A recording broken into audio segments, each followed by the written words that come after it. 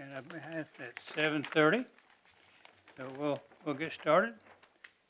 And I'd like to have a roll call. I See, Steve is here.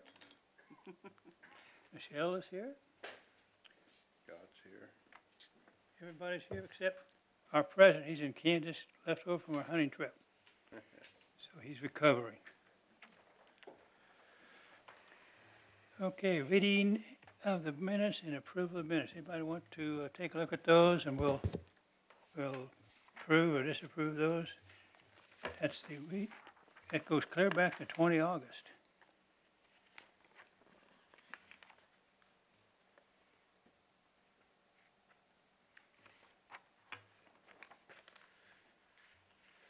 I make a motion that the August 20 meeting minutes be approved as submitted. Do we have a second? Second, Second approved, so ordered.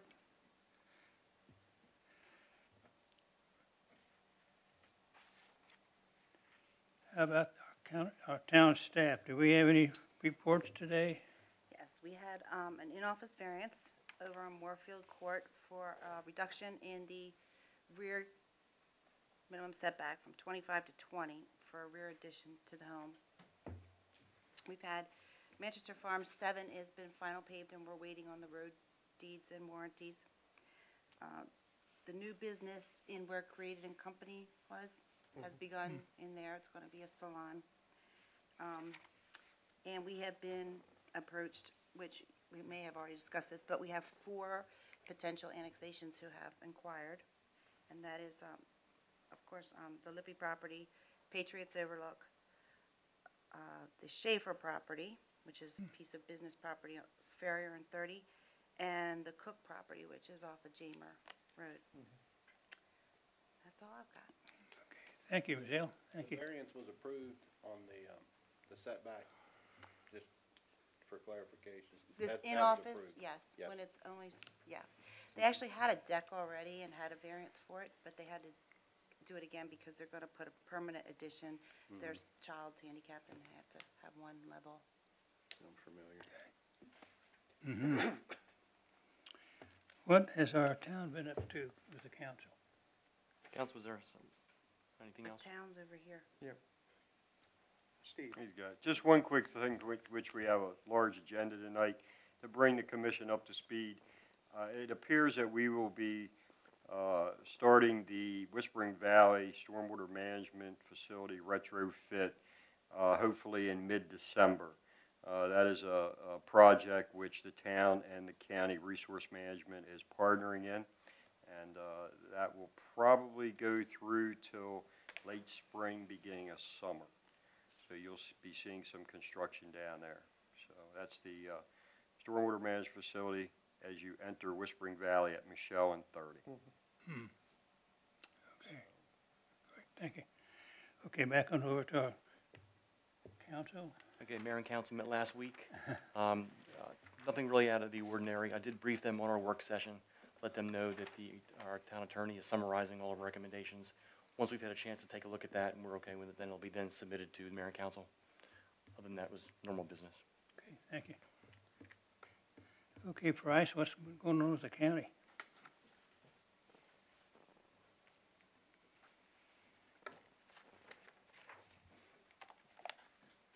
Good evening. Uh, Not much has changed since, actually even back in August, but the, we're having another work session with the county commission on Thursday. Still in talks with our uh, master, the comprehensive rezonings for the business, industrial, and economic employment campus sections of the code and maps. We have hired two new planners, so we are now fully staffed. Uh, one is a planner one, the other is a planning technician. Um, uh, the planner one has background, he came from Howard County, and he actually will be taking over Mount Airy, and our planning technic- technician will be taking over Union Bridge. So we'll fully staffed, and I believe starting in December, we're having a contract employee who's gonna be doing nothing but the census work for us. So they'll be, however long the census takes, they'll be with us, working just solely for the census, but we are, after a long time, fully staffed, we are busting at the seams now. Okay, good. Okay, thank you, thank you. Okay, next on the agenda is, uh, concept approval for Riley's Garden.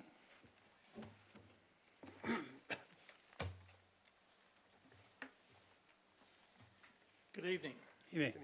Uh, I was here last meeting, which was August 20th, and at that time, we had addressed some comments or concerns that were expressed. That's okay. I'm too short to see over top of it.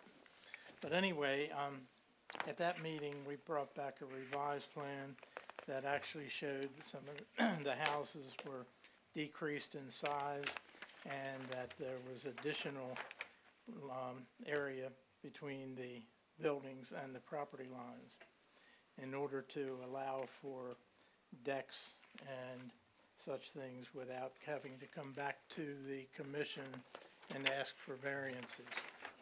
Um, Mr. Graham, on behalf of the commission, made it quite clear that the commission would not be receptive to any variances going forward once this project was recorded, and requested that we provide a document either to be recorded with the pla- plats or added as a note on the plats that would make any purchaser um, aware of this. And I think Michelle has provided you with a draft of what we propose and present here for you tonight. And the proposed restrictive language to be recorded either on the record plats of the lots being created or filed separately at the direction of Manchester Planning is such. Lots approved as part of Riley's Garden have been reviewed by the Manchester Planning and Zoning Commission and approved with the clear understanding that there shall be no variances considered and approved going forward. Pot- Potential purchasers take notice. Um, Does that meet the, um, I think that meets the intent pretty well. okay? In addition to that, the, the plats now have setbacks for all four, uh, all four setbacks rather than just having the front yard setback. Right. And I'm advised that by having those recorded on the plats, that, um, a variance could not be approved without the planning commission signing off on it. So I think we're addressing the concerns that were expressed. And I also am of the belief that at this time, we have all of the approvals from the agencies that are responsible for review. Is that correct, Michelle? Yes. Therefore, at this time, I'd like to ask for approval of the preliminary plan. Answer any questions that you may have, or try to. I don't think I have any additional questions. I reviewed the letter from Carroll County regarding the stormwater management. Everything appears to be in order now, and that was, that and the restrictive language were really Yeah, the last That's two. always the last thing. Those, those were the last two issues that we had that we, we felt needed to be addressed. So I don't, I'll defer to anybody else if they have any other comments. I have no other comments. I I thought everything was adequately addressed, so I have no questions.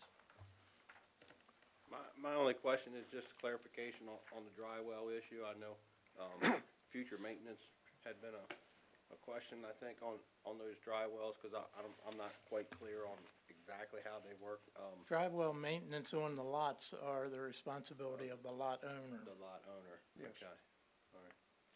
Um, but we haven't written in dry well ordinances yet. We've adopted the county stormwater management ordinance, which that language is included into their ordinance. Okay. So, So we can, we can go after the homeowner to clean up their dry well area if it becomes, correct. becomes If the dry, to well, if the area. dry well's not functioning, yes, we can Right. go. Uh-huh, Because their purchasing Or agreement at settlement will have that listed on the plats, Correct. that they're responsible for the maintenance of that. Because there's, I- a- I there's a just read- recorded easement on those dry Okay. Yes, So, okay.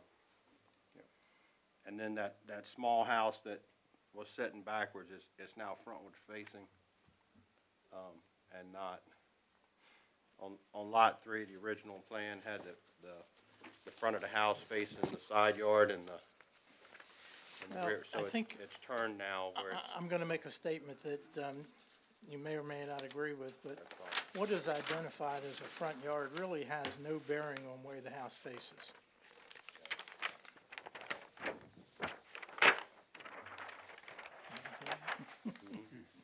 right? Just aesthetic in the neighborhood, I guess. Okay.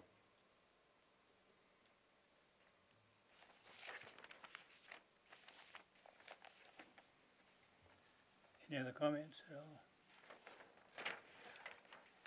No, I make a motion that we grant concept plan approval for Riley's Gardens as How submitted. about preliminary? Have a second on that? Mr. Shirley, would, Hold on. Mr. Hill's asking a question, we're approving concept, and he said, what about preliminary? I thought we were approving preliminary, because this is a minor. Well, we better check that. I thought in our subdivision land, it says there's three.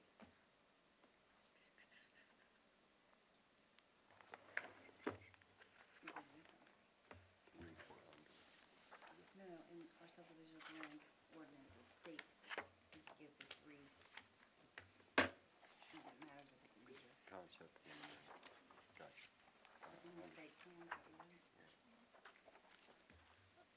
It's my understanding that the, um, a minor subdivision can be submitted as preliminary, not have to go through concept. And it's, it's all here anyway. I know in Carroll County, typically we do concept and preliminary final at the same time. Concept always a separate aspect of the minor subdivision.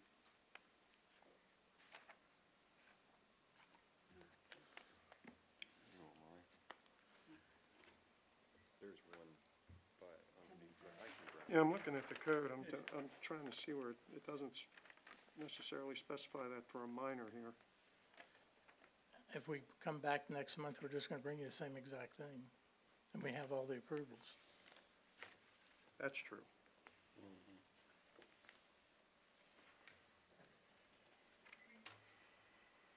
Usually we don't have all the approvals at Yeah. concept. Yeah, uh, in that regard, Mr. Hill is correct. I mean, based on what the preliminary plan approval requirements are, they have all the county approvals. They've met Okay. that. So you. I will amend that motion then. Okay, I will amend the motion to grant both uh, concept and preliminary plan approval for Raleigh Gardens as submitted. Thank you. I'll second the motion. All in favor? Aye? Aye. Aye. Thank you, folks. Concept Okay. complete. Welcome. Two for one.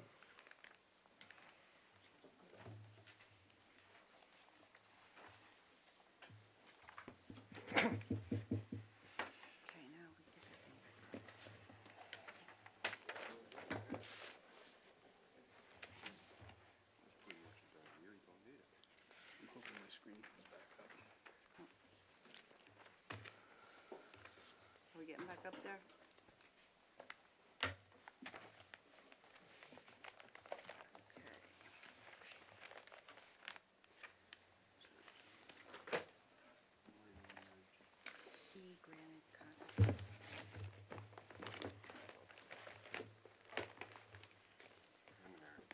Concept and preliminary. May I uh, pass out a copy of my presentation in case you want to follow along on your sheet and what I'm talking about? Thank you.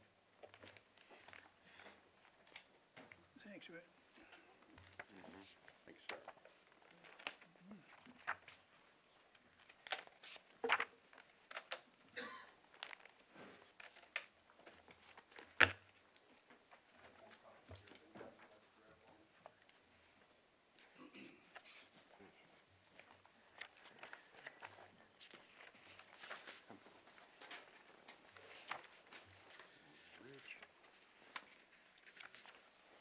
So tonight's purpose for this presentation is to ask for concept plan approval and also to discuss some zoning variances. Um, You've seen the plan a couple of times. We, we brought it as a, as an informational presentation, and uh, we had a couple of issues that I think we've addressed. And I, I, we could either skip straight to questions, or I can do a quick presentation of the project and then, I think and that then would be helpful. presentation. It's been a few months. So the first thing that we're looking at is the, uh, the site, it's the uh, property. Um, It's right off of Park Avenue, at, near the intersection with uh, Westminster Street. The property is zoned R ten thousand. It's eleven point six acres. This would be considered an infill project, uh, because it's surrounded by a good road system, water and sewer on all sides. Um, the, the adjacent properties are already developed. So I wanted to go through the, some of the changes.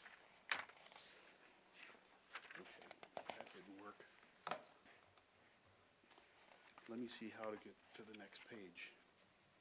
Okay, um, well, that was, um, so some of the changes that we've had from, uh, the preliminary plan, we've refined the stormwater management, we've conducted a lot of geotechnical work. We've refined the grading, so I think we've minimized the cut and fill. Uh, we've profiled the road so that the, uh, the sight distance and the road grades match. And we've also set the boundary and, uh, proposed line, the, uh, lot lines have been set. So the, um, let me see if I can go back up.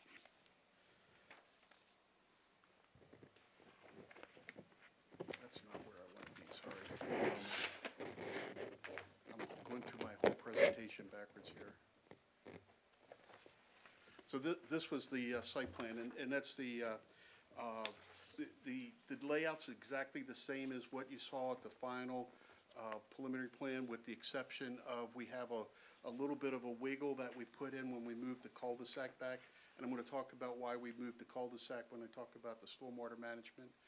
But I think, um, what, what I would like to make sure that the commission would understand is that the, uh, the, the goal of this project is to, um, boy, I am not getting my page up and down to work. I'm sorry. That's not it either. Um, I, I'm right back to, uh, okay. Um, so the, the idea is that we got a house that is, um, approximately fifty, wait a second, let me try to get to it again. I might have to just wing this. So our, our standard house for Bob Ward, um, he's got a, he's got a, a, a, a palette of a number of houses, but for this subdivision, what we did was we laid it out as though every house was going to be their largest unit, which is their Chesapeake, which is a single-level unit. So with all the options, it's a sixty-foot wide unit. With all the options, it's fifty-eight feet deep. Every lot has room for the, uh, the six hundred square foot parking in the front, uh, which is a twenty by thirty foot parking pad.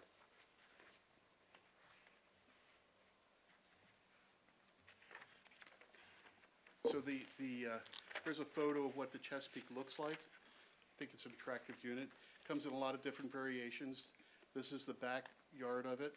Um, you can see the sunroom that sticks out. We'll talk about that when we get toward the end. The first thing I'd like to point out is that we had some conversations about Park Avenue and the entrance. Um, this is likely going to be, um, the bus stop. And we talked about how to not allow this to be such a congested place. So we've, we've actually widened the road inside that, um, that forty-foot right-of-way. So there's a thirty-foot road, thirty-foot wide road, um, which gives us space for seven cars to park on the side and still have two-way traffic. Um, This would Is the also- remaining section twenty-four feet, Uh, twenty-two feet. twenty-two? 22 feet curved. Um, Then the, uh, th- this section also has curb, um, a curved entrance, um, and it has uh, sidewalk on both sides. And you notice in this particular area, the sidewalk is actually, comes all the way up to the edge of the road. So in that 40-foot section, we didn't have room for the, the grass strip that you'll see in other parts. So this, this little section's a little bit different than the rest of the, the road grid. And um, it, this will be where the community mailbox will be located. Come on, page down.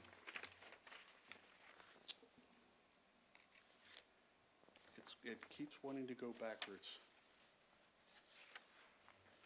I'm guessing which button to push. I feel like a toddler with, uh, I hit page down Up, and. it- down, left, right? it- Now I came all the way out of it.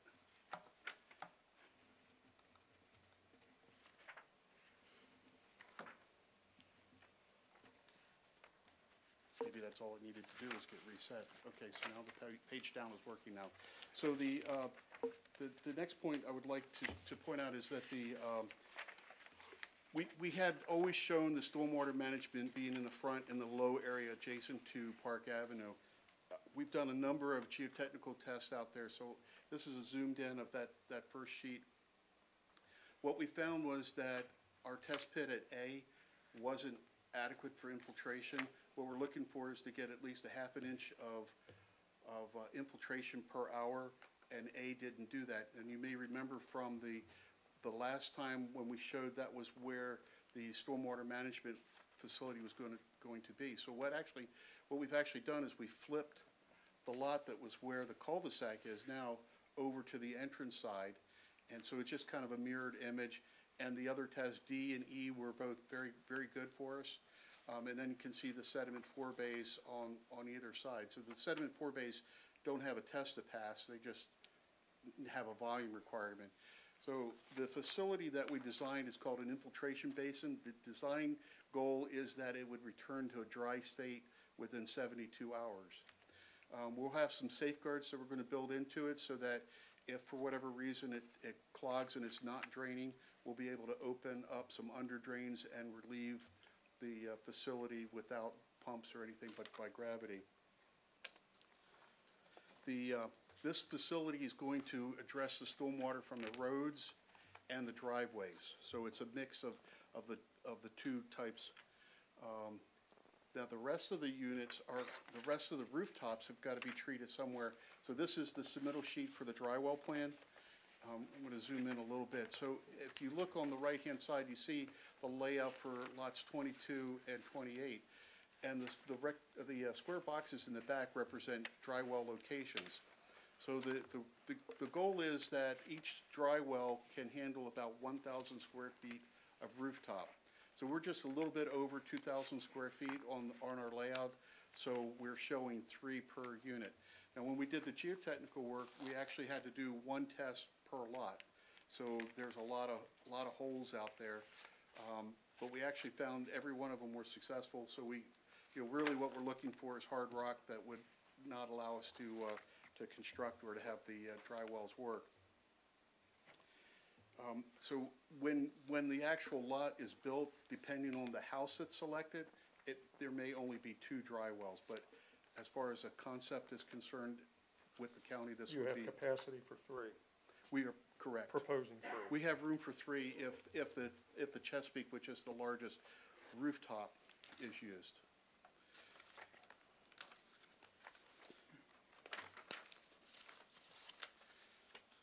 So we have a landscape plan. Um, Basically, the landscape in this area is, we're gonna screen backyards from adjacent uses, so along the, the uh, edge of High Street, uh, we have a number of units that have their backyards facing High Street. There'll be a, a, a full screen along High Street.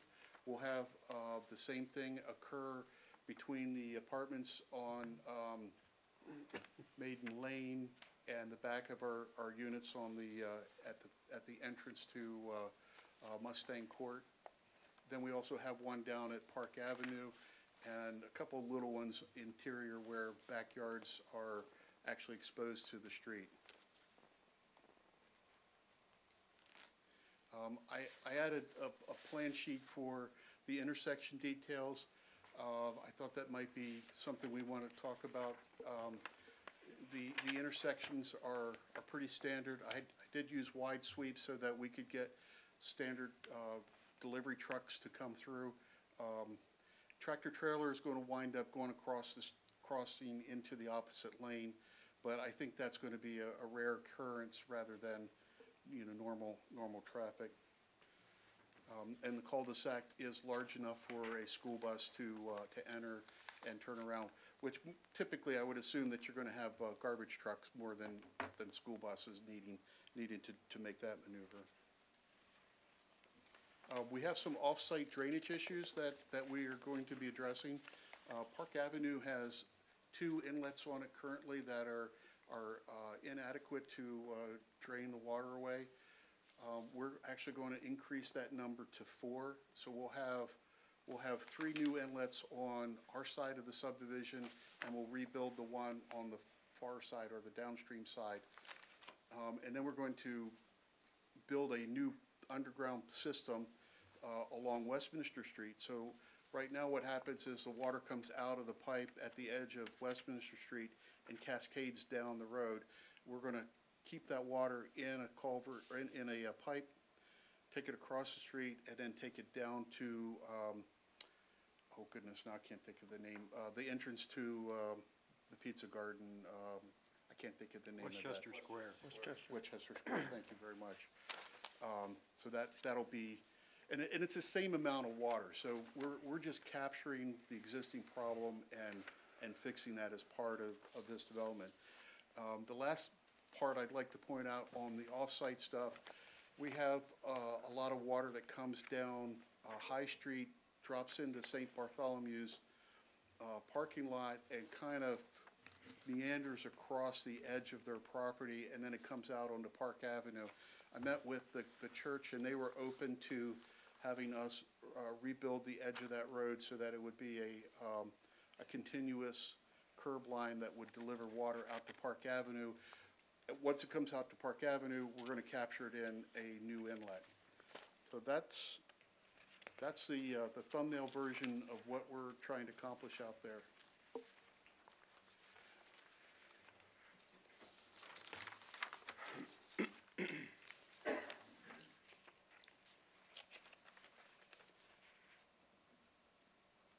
Steve, what are your thoughts on the stormwater management as they're proposing it right now?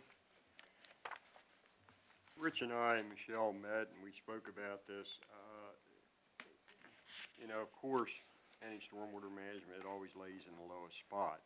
Uh, one thing right out of the gate I looked at is, is landscaping around that area, concerned about that. Uh, Rich did mention tonight, which I brought up this question, the, uh, the amount of water flowing out of the development and traveling down through into Westchester Square. And then you have to remember, it crosses over Route twenty-seven and down into the stream that is, you know, considered there, that brook trout was found. Natural in. trout stream. So, um, you know, that, that may be a conversation that may come, b- come up during county review. Uh, I don't know. Right. It's a possibility.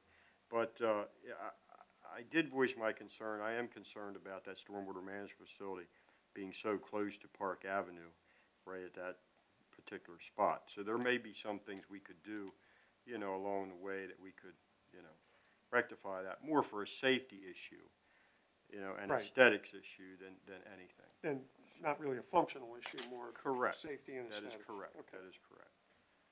So, I would point out that currently we're proposing a sidewalk along there, so maybe, maybe there should be some kind of a vegetative barrier between the, the s- facility and the sidewalk.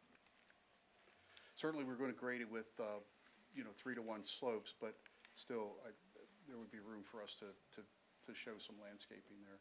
Right, and, and we may want to look at some landscaping that isn't so, um, so thick. Uh, we're running into some issues in some other developments where landscaping was put in, and it's along the sidewalk, and it's very thick, and parents are concerned about their children walking down the sidewalk, so we have to take that into consideration also, so.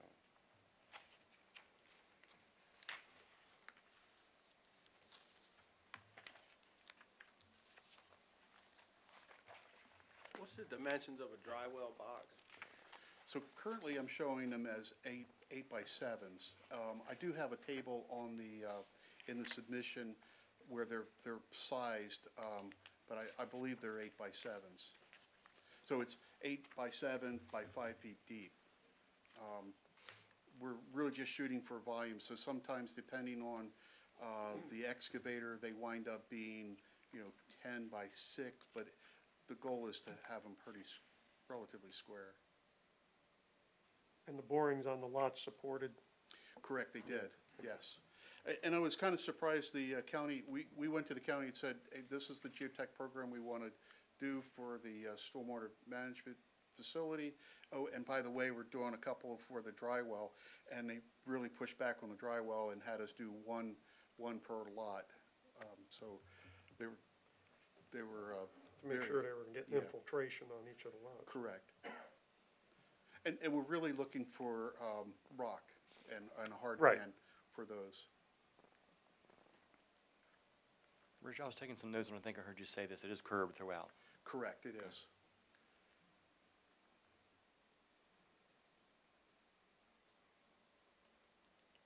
Just from my lack of knowledge, again, what's the top, what's the top coating on a, on a dry well?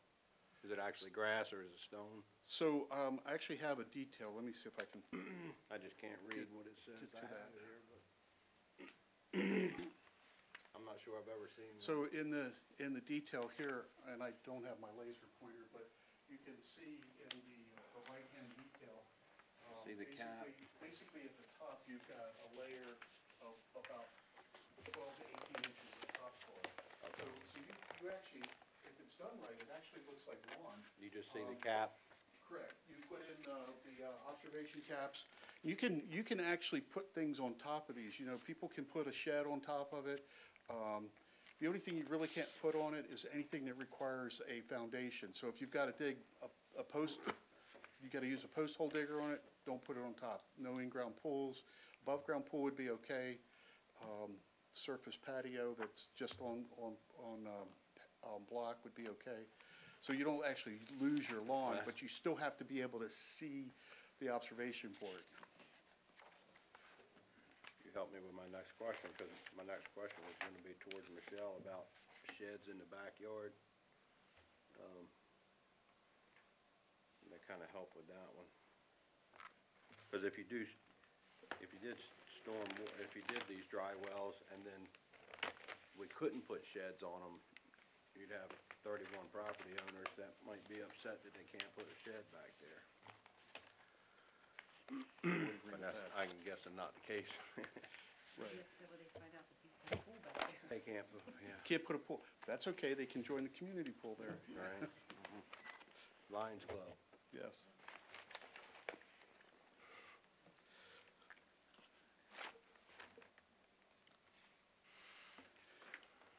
So I do have one request on the zoning. Um, we had talked before, One, one other question, Rich, I'm just, Yes, just, just checking. You are, so all the road network is going to that stormwater management facility? yes, sir, that's Okay, I'm correct. just, I was just checking the grades here. Um, I should say that there's a small piece at the connection to, um, High Street that actually kicks the other way. Um, but I'm accounting for that area in my facility, so it's basically a swap, because I've got, I've got some off-site area that's coming in. That you're and I'm gonna pick up in the facility. Correct. So technically, some of the new stuff on Mustang Court is actually going off-site, but I'm, I'm going to treat, uh, an equivalent area uh, off of High Street. Okay.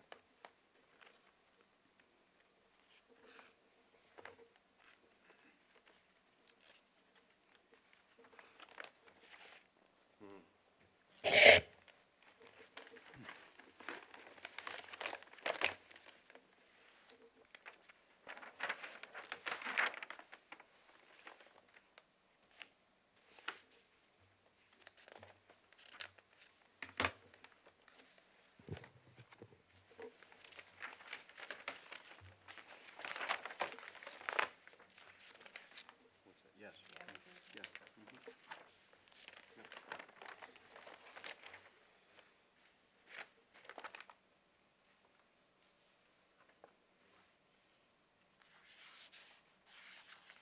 Steve, do you know of any situations currently where the, the monitoring of the, the dry well MDE puts that cost on the town? Or No, I, I you brought, haven't heard any, you know, I- I'm just ten years down the road, Well- is, do we stand, you know, yeah, a chance of them saying, hey, the town has to bear the run of testing all those? anything can happen. I, I know it can, Yeah. yeah, Not at this time. but it's not. Uh, You know, I asked a question a few months ago at the WRCC meeting, you know, has the county ever encountered any situation where anybody has actually excavated into these dry wells for a pool or anything like that. And they said, no, they have not. They're relatively new. Uh, when I say relatively new, you know, within how many years, I guess, and, uh, Well, Probably back in at least two thousand ten, Yeah, Yeah. 2000 when we They were started definitely in the pushing. chapter five that came out in two thousand ten. They had been experimental for So- so- some time before that. So failures, I, I, I don't think we've had any failures within our town. I can't answer for the county. The, the only, the only failures that I'm aware of, uh, there's, there's, is because of clogging. If, um, if the homeowners don't maintain, uh, their, their gutters and it gets Downspouts. clogged with leaves and such, a- and that's actually just a clog at the beginning, it's not, it doesn't destroy the whole dry well. Um, there are some places where, where people have put dry wells in without the adequate, um, uh, geotechnical investigation, and they don't actually infiltrate, they just become a pond in their backyard, which is why we, we have, you know, the county has pushed us to, uh, take the step of drilling. No, that's what, each- that's why I was asking, because Yeah. a lot of, we, we- I've seen some incidents in Baltimore County where it was just a few geotech borings and they made assumptions that, That didn't come true. that didn't come true. They got Yeah. into clay where they, Right. clay soils where they had infiltration in other areas. Right. and They, like you said, it ended up with a situation where you had standing water. Failed right out. Yeah, failed because right of out. heavy, Fail- heavy they- storm they- events, they because never water work. couldn't get in the Right. ground. Right, right. Yeah, those are the, they never work kind of failures. Correct.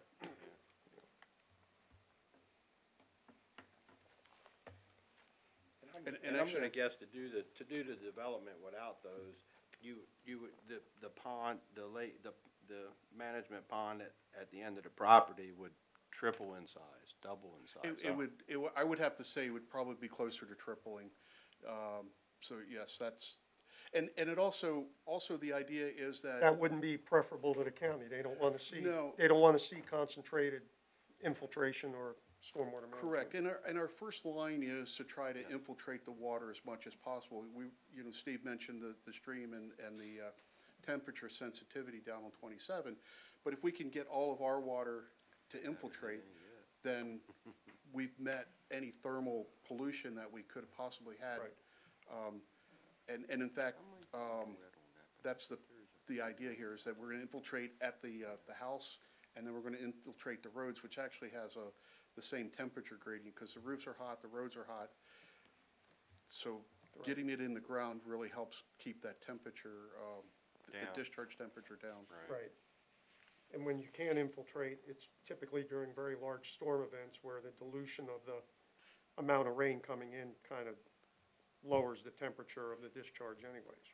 Right, and it's also, those type of storms happen in, in July and August, when the, the temperature of that first flush gets into the stream early, and, and that's what cooks That's, are. yeah. cooks it, yeah. Yeah.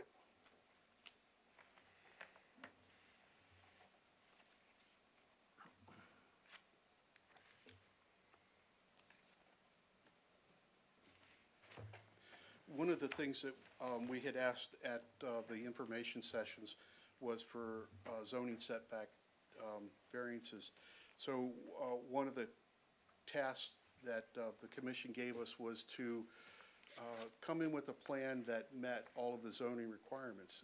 And, and this plan does, all 31 lots, um, they have 12-foot side back, or uh, setbacks on the yards. Um, The uh, front yards are 35, the backyards are 45, and all of the units fit, with the exception of some units would not be permitted to have the optional sunroom. So you can see on, uh, on some of the plans, you'll see the dashed line is the uh, sunroom. So I'm looking at lot one here, that one's adequate. But if I looked at, um, say, unit nineteen, which is on the corner of Park Avenue, that, that optional sunroom would not be available for, for that lot because it would require zoning variance. Now, the bigger question that we have is, can we get some relief for the front yard setback? We'd like to move the, you know, it's a thirty-five foot setback, which is measured from the property line. The property line is actually seven feet from the edge of the curb because of, uh, we have, uh, the twenty-two foot wide section, then we have a, a two-foot section of grass strip, we have a four-foot sidewalk and then a little bit more. So effectively, that thirty-five foot starts at seven feet from the, the, the flow line of the gutter. So it's really a forty-two foot setback from the edge of the road. And we'd like to ask to have that reduced by five feet, uh, to have that setback, so that way we can push our house forward up five feet, gives us a little bit bigger backyard. It doesn't change our density, doesn't give us an extra unit. Um, it does improve a couple of lots for the uh, sunroom I just mentioned, but, um, that's, that's really, it doesn't change our plan other than, uh, the front yard's a little bit smaller, but I still feel like it's pretty adequate, cause from the, again, from the flow line of forty-two feet, we're, we're really still able to get our cars comfortably parked in front. No variances on the side yards, no variance on the, uh, rear yards.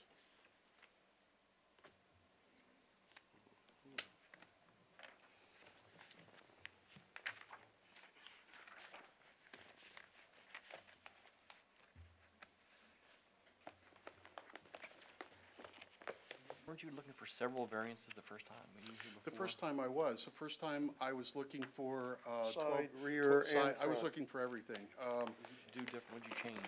So, so what I changed was basically, uh, the configuration of the lots.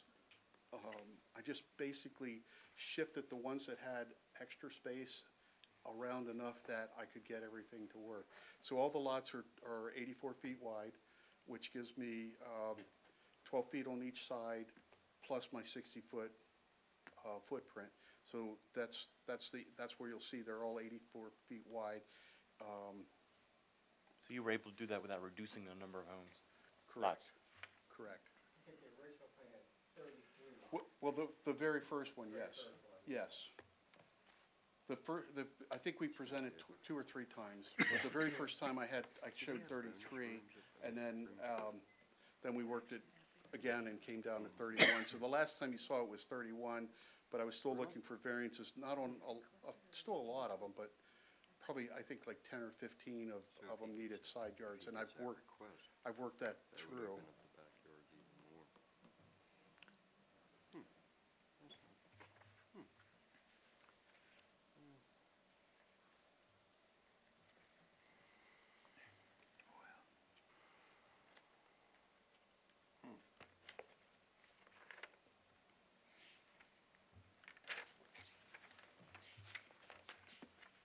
Only two go out to High Street, everything else enters the That's driveway correct. from? Only two are facing High Street, um, everything else was able to face interior. Over the math again, from the thirty-five to thirty, the thirty feet would be from? What point? It would be from the property line to the building restriction line. Okay.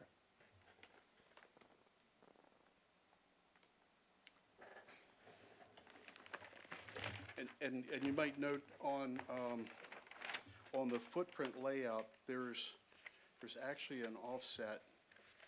um, So if you, if you look at where the garage is, there's actually a two-foot bump out. So our building restriction line would actually hold our garage back two feet from, from, uh, that point. So that would be, that would be where we would, we would measure our, our unit, or place our unit.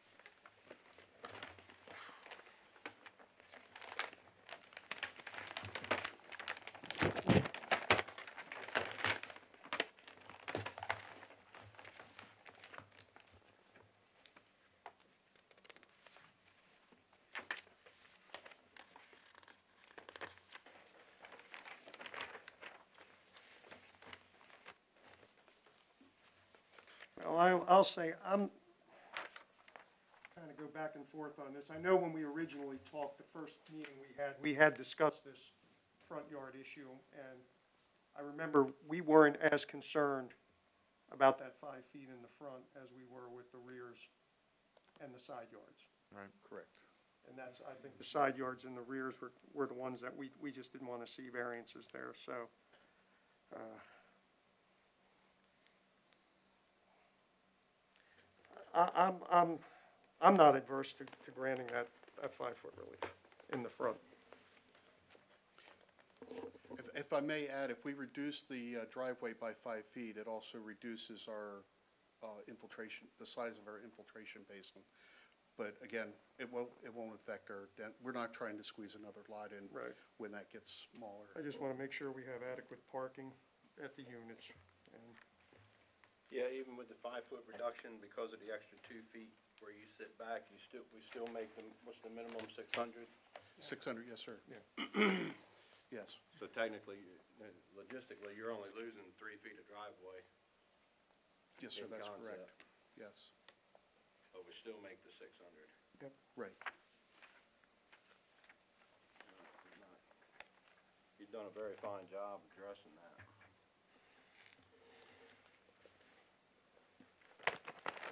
Yeah, I agree with, with Henry. Considering some of the areas taken up by grass and a sidewalk, you're still having that depth in the front yard. Yeah. I agree with Henry.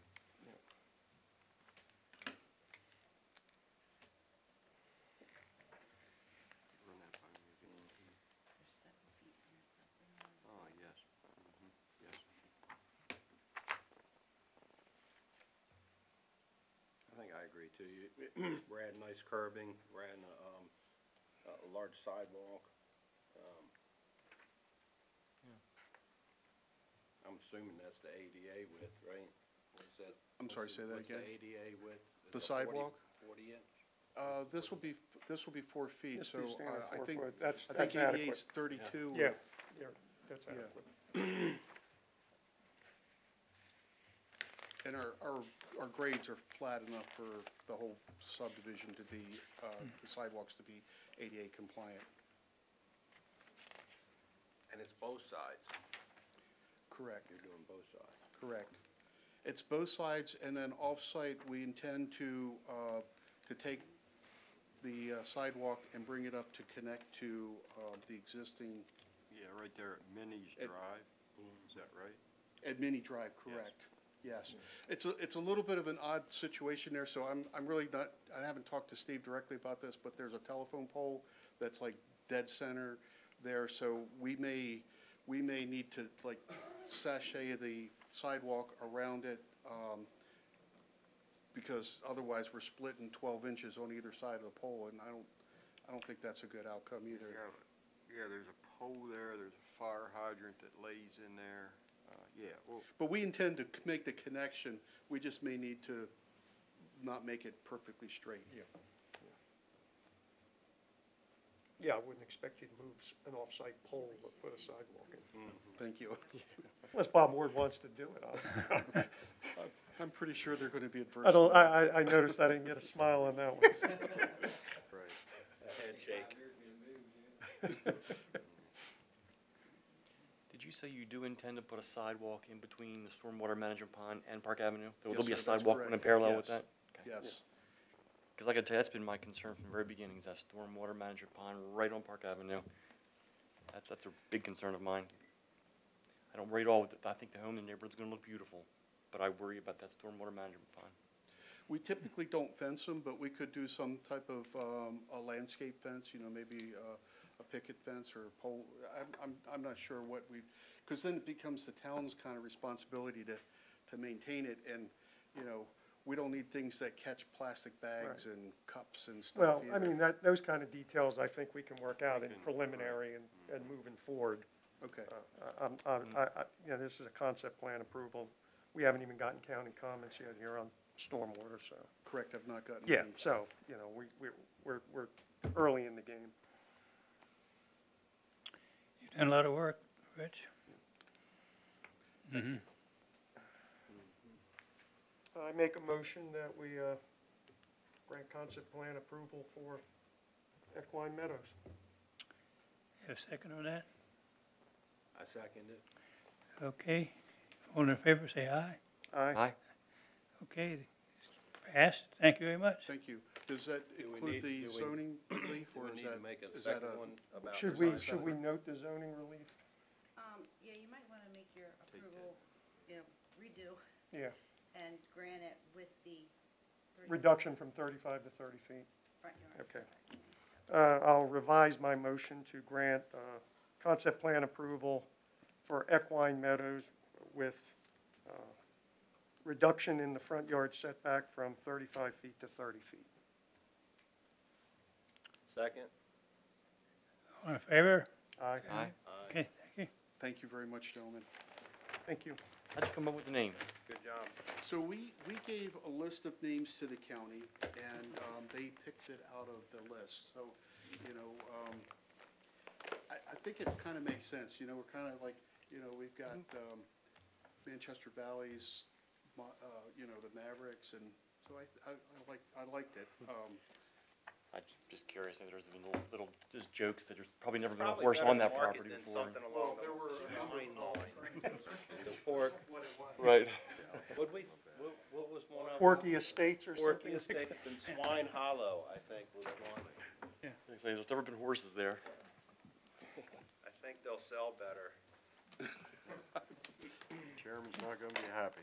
Chairman's not gonna be happy. There's never been a horse in that pen. Thank you. You're welcome. You.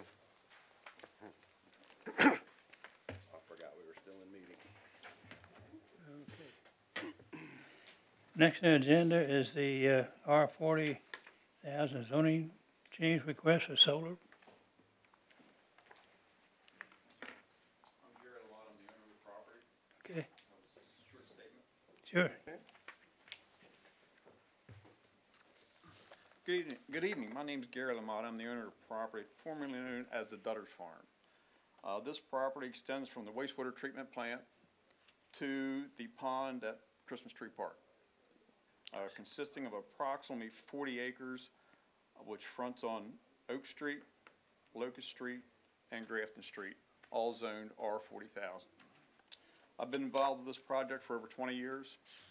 Have not been able to develop it because of not having access to the public sewer system. Uh, we spent a lot of time and effort running conventional perk tests. It's not feasible to be done on perk tests. We cannot get enough lots to build the infrastructure for the subdivision. It just, the math just does not work. Uh, we're here tonight asking for, to add a text amendment to the R forty zoning district to allow a community solar, fa- a community solar farm. Um, That's just a brief history of the property. Um, Ken Donaldson from, uh, Donald, I pronounced that wrong. No, Donaldson, uh, from Earth and Air Technologies is the company that would be, um, partnering with to build the farm. If you have any questions concerning the solar operation, the solar farm, and what it actually does for the community, uh, he would be the one to ask those questions. Well, my first question isn't about the solar farm. My question is about how many properties in town would be impacted by this. Is this a text amendment to allow one property to do solar? Is that the only property large enough to meet this text amendment in the R forty? Because you know my position, you, we, we've had the opposite where people have tried to push amendments to target a specific property by changing the zoning code to say you can't do that. And I, I, I'm, I'm not a big fan of targeted text amendments for one specific property. I've never had been. So I'm just curious, are there other properties in town that meet the size requirements that were specified in here, if I recall? There are no other R forties. Because it says no less than ten acres. So, that was my thought. Okay, that's, that was my first question.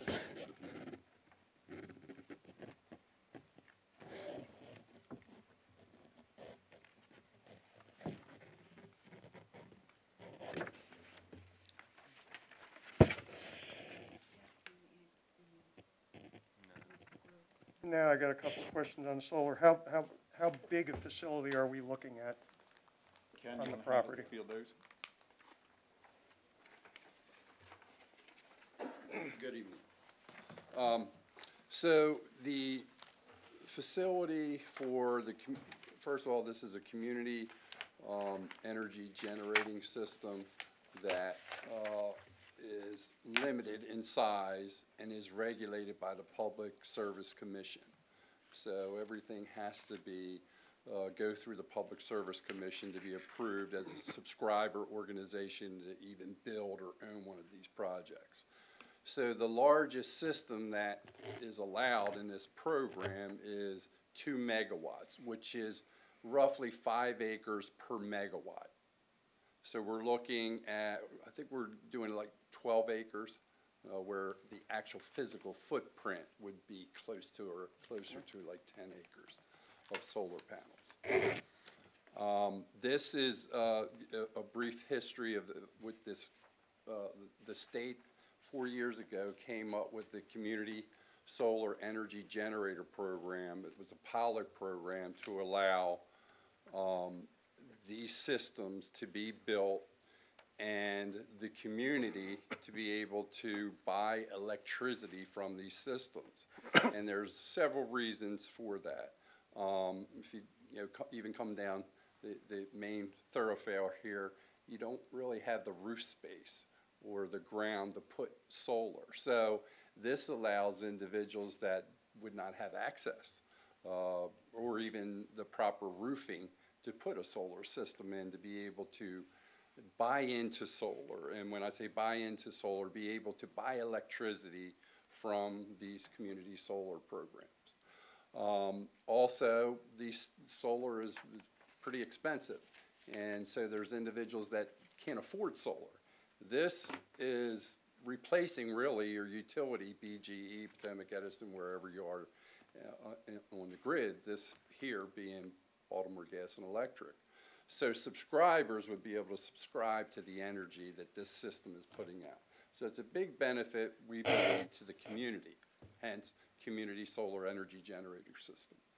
So anybody within the community would be eligible to buy into these systems. So I think it also meets, you know, the, the goals of the, uh, the- concept plan, the master plan for, for the town as well, with sustainability, renewable, clean, uh, energy. Um, the state just this year, actually last month, uh, require, adopted, uh, regulate, adopted, um, uh, uh, they're under, um, let me just read the, it's the Clean Energy Jobs Act that was effective October first, last month, which says fifty percent of electricity in the state of Maryland has to be from renewable. Fourteen point five percent of it has to be from solar. So there's, and that's by twenty thirty. So there's a real big push for renewable energy. So these community energy systems are relatively new in a sense that a lot of the rooftop and everything has been saturated for the most part. Not to say that there aren't individuals still getting solar on the roof, but it's slim. Because this has been going on for the past ten years, and pretty much a lot of the bigger companies have moved out of, of the state because this market is getting saturated. So this community solar program concentrates solar panels in an area like Gary's property, which is an ideal property to be able to build a project of this size. And therefore, we can, you know, an individual home may use, let's say, five kilowatts. So this system could supply, in essence, three hundred plus, uh, houses. It's also, you know, the town can also, can also purchase the electricity from them. And the good part about this too is the electricity is gonna be just as, ch- just as, uh, uh, cheaper than what the utility is, uh, supplying, because we can supply the generation portion of it, the distribution portion of it, and the transmission. So the entire bill, so individuals get credited for the electricity. Let's say they wanna buy electricity from ten panels, so those ten panels supply the electricity and offsets one hundred percent of the individual's bill at or below utility costs. And for the most part, these are below utility costs.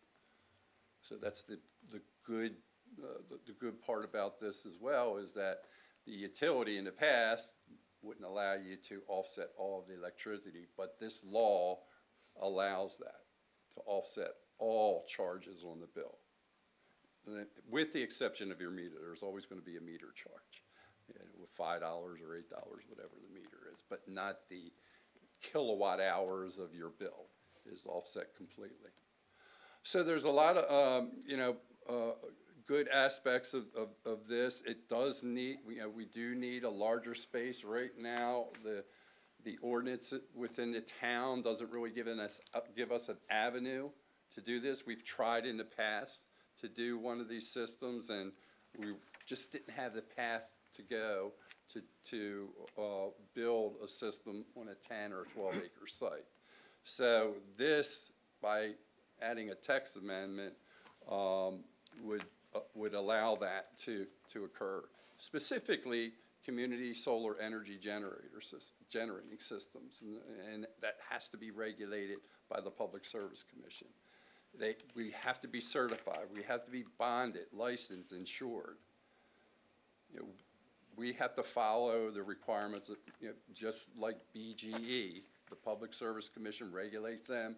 This is regulated by the Public Service Commission. Well, it's Which- well, I understand all that, but I think the question I'm having is typically when siting these community systems or any kind of solar facility, they're, they're typically looking at either old industrial land, brownfields, or they're looking at agricultural land.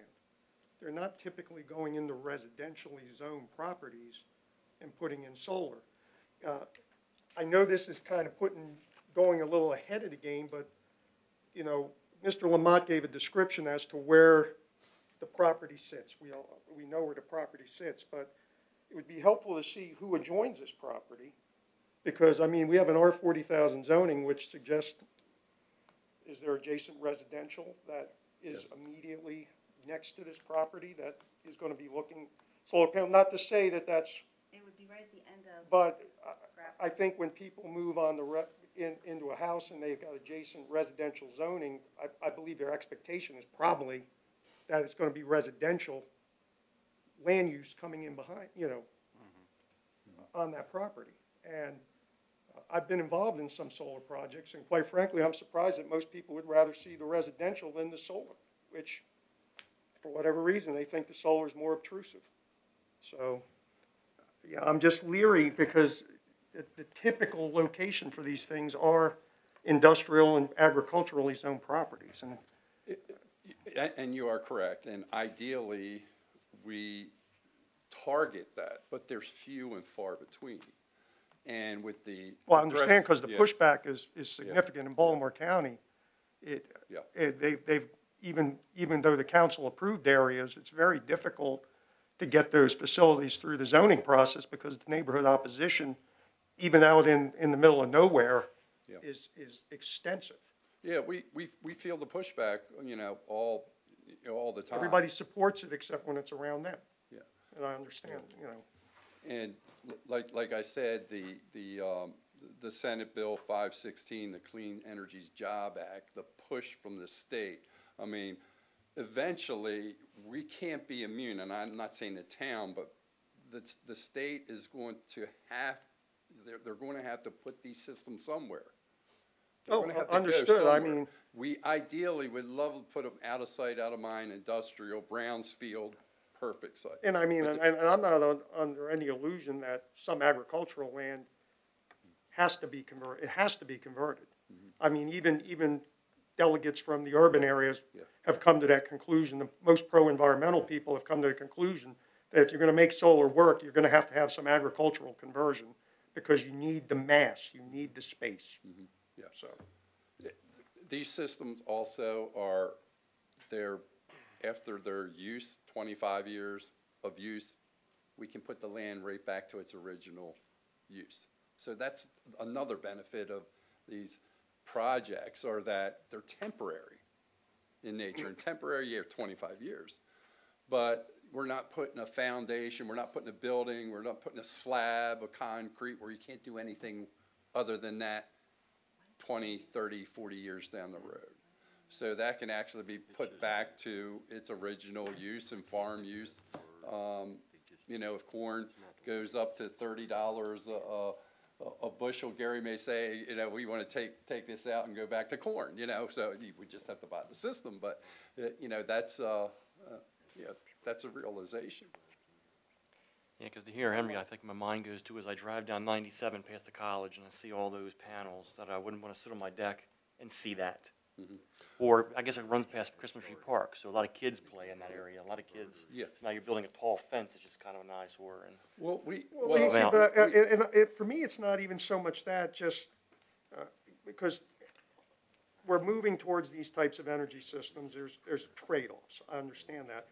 Uh, the- At the community college, I think the location's appropriate, it's, it's, it's along ninety-seven, that's, that's an appropriate location. I just wouldn't want to sit on my deck and see it. Right, and, and that's my only concern about it being in a, uh, in a property zone residential. It, you know, I'm just, I, I struggle with it because the goal is noble and it's a good goal. I just, I just struggle with it because it's an R forty thousand and as Mr. Lamont, uh, to his credit succinctly put it, can't get his residential to work out there. So he's looking for some use to, to profit from his property. And I'm not averse to somebody making a profit, but I got, I gotta look at the whole picture.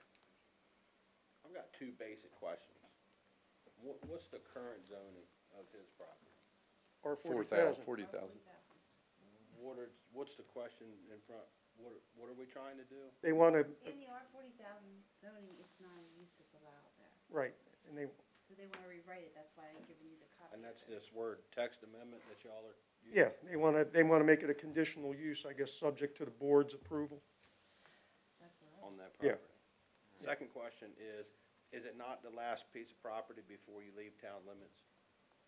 Yes, it is. It's the last piece of property before, it's the, it's the property just past here, right past the back ponds? It's the property right next to Riley's Garden Yeah, and before our, before the sewage, Spray. our sewage treatment system. By the graveyard, Yeah, over there by the graveyard. which this is typically, once this is installed, it's gonna be just like a graveyard. There's no activity. Rare. Third question involves your, your, um, how high-tech your solar is. Are you gonna have the, um, the panels that move with the sun? Or are you Correct. gonna have That- panels? That's an option. That's our first option is a single axis tracker. You see, that's really getting past where we need to be at this point. We're just trying to decide whether it's permitted in the zoning. The board's gonna hate me, but Alex isn't here, and Bob isn't here. Mm, and I'm thinking we might, I don't wanna string Mr. Lamont out for a long period of time, but I think we probably should have a work session amongst the, an open work session, which obviously Mr. Lamont and his representatives could attend to discuss this a little further amongst the other members of the board? I, I, I, I, I, I, I just think we should. I think it's a good idea. I make a And, and you do have drawings of, of this that shows the residential, I. Yeah, because that, that, that would be helpful to have also at that but meeting, would be to electronically. show the property and then all the adjacent land uses and, and, which- where the which shows homes are- I'm sorry, no, which shows, shows the, um, uh, lan- landscaping buffer, uh, from any residential. Right. uh, View, so. but it would be helpful just to get, it- see- see a map and see the Yeah, and we, context of and we, things. we, we submitted a, a bunch of copies, both electronically and hard copy. Okay, and I think that they all went to council, but I, I found one in one of the council's mailboxes. Yeah, And so we can just get copies of this, but yes, he did show us. okay, And, and I think I sent it electronically too, Michelle, if not, we can send you electronic, uh, I don't- I don't copies. know. I can't- I can't print this big, but, you know, so this is what it was, and it will show the property. So I can, I can actually send that out when we plan a work session. yeah, that would be helpful. Yeah, that might be.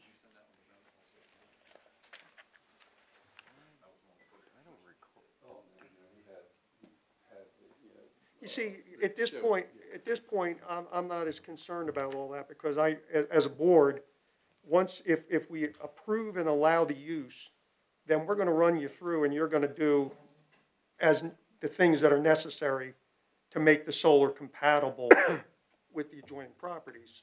But the bigger question at this point is whether we wanna permit it there. The, the big question is That- the, the text amendment. That's exactly right, To- because all these other questions, that, that's concept and final plan approval stuff. You know, how they site the solar, what, do we have anti-glare glass on the panels so that people aren't getting hit with light when the sun hits it a certain way. There's all the technical aspects of the solar fields, which you're well aware of, obviously. That would be addressed at that point, but we, we need to decide whether it's appropriate. And, and I, I, I'm, I'm not ready at this point to make that decision. And I would like to have the opinions of the other, the chairman and, and Mr. Graham. And I think a work session and maybe waiting a month before we make a final recommendation one way or the other isn't inappropriate in this case. If I can you ju- want a motion to if I can just make a comment. Uh, time is of the essence on a, a, a lot of these projects because of the ITC, the federal tax credits that comes along with these. So they tend to go down after the end of this year from thirty percent to twenty-six percent, and then the following year. So, not to say that we were gonna do this before the end of the year. Right, it wasn't but- gonna happen. But time, time is critical with a lot of the incentives that make these programs work. Um, so, Understood. Like I said, we're not trying, I'm not trying to drag you out, I just, I, this is not something I'm gonna, I can just make a spot decision on, I wanna think this through and do a little more research Sure. on my own, and then have a work session with the rest of the board. Like I said, which you're Yeah. obviously welcome to attend, and we'll go from there. Yeah, I'm sorry, I think this was discussed. Who owns and maintains this 10, 12 acres of solar panels? uh, the owner of the solar project will maintain it. It's all, you know, whoever installs, builds, and owns will be maintaining it, landscaping, And then they'll, they'll just be leasing the property from you. correct. And it's, uh, bonded, decommissioning requirements, insurance requirements, and that's all Public Service Commission requires, Yeah. all that, so. Yeah, I'm not, I'm not so concerned on that end, because Yeah, I just want to make sure the they're, town, they're, they're, they're tightly regulated. absolutely. just make sure the town's not responsible No, for anything yeah. live. No, that, the, the Cost. the P- PSC takes care of that. Because that scared the mayor and council away from a project several years ago when we were considering solar, was the cost, the expense, maintenance, warranties, and there's a lot of things that were unknowns. But this is good that way. Yeah. Okay, I agree with Henry. I think there's too many unknowns here. So let's schedule a work session if we could. And go from there. I will get an email out to. Yeah, get an email out so Yeah. we can get, because Alex should be back tomorrow and, and Bob gets his emails at work, so we can try to act on something sooner rather than later. So we can give, give this gentleman an answer. Okay? Everybody agree? Good call. Okay? Thank you, sir. Thank you. Thank you for your patience.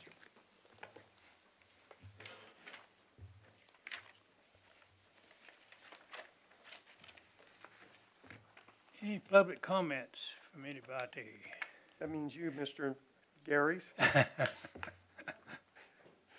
Good to see you this evening. I, I would, I would have been uh, shocked if you weren't here, so my, my Tuesdays are made when I know that you're here paying attention and keeping our feet to the fire, so. There you go. How's Sheetz working out? So far, so good. Good. Very well, yeah. Working good for us. Good. Yeah, that access worked out real nicely. Being able to get to that light makes a big difference. Coming out over onto our property, it's flowing good. There's no jam ups, there's no back stacking or anything. Yeah. It's it's going very well. Good.